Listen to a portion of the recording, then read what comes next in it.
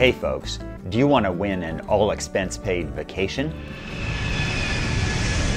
Enjoy deluxe accommodation?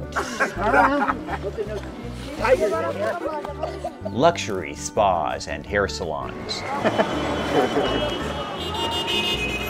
A warm welcome from hospitable local people. Indulge in regional delicacies, strictly organic.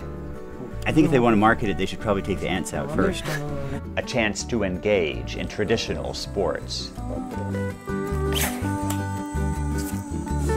Okay, okay, it won't be pina coladas and infinity pools. This trip isn't about tourism, but journalism. And there's a brothel right there, right? Yeah. For the next trip, I'm choosing a university student to travel with me to the developing Got some world. helpers there? Yeah. The winner will be an undergraduate or graduate student at an American university. That winner will blog with me on the New York Times website and also be featured in videos about our trip.